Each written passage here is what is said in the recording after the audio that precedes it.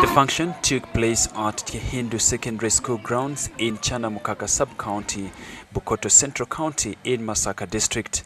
Museveni thanked the people of Bukoto Central County for having voted back Vice President Ssekandi into the 10th Parliament. He says he was the right choice given his qualities and abilities to offer on the promises of government.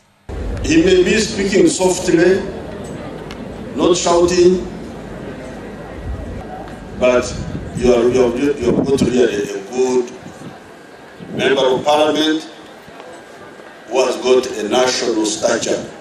You are lucky to have. I was with him in the university in Dar es Salaam. So I congratulate you. I congratulate His Excellency Ssekandi on electing him. Vice President Ssekandi is a very good leader.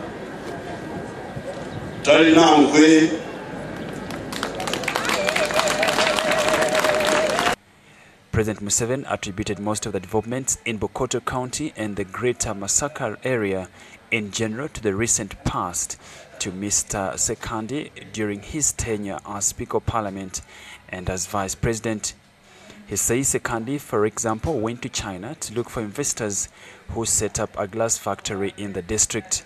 On agriculture, the president expressed gratitude towards Operation Wealth Creation officials who have helped the region to benefit from the program. He stressed that his government was to find solutions to the drought and soil acidity that are affecting agricultural productivity in the country. He advised farmers to adopt drip irrigation method, especially for perennial crops, to grapple with drought, adding that government will develop gravity irrigation systems in hilly areas and promote the use of solar irrigation pumps in lower lands. He decried the famine that has hit the country and the greater Masaka as a whole on account of low rains that characterize this year. He, however, thanked the government for the food relief that has been given to the region to mitigate the dangers posed by food shortage.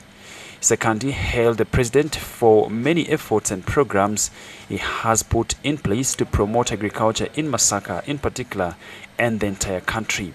This report was compiled by John Bosco Mulyowa for PM Live in Masaka District.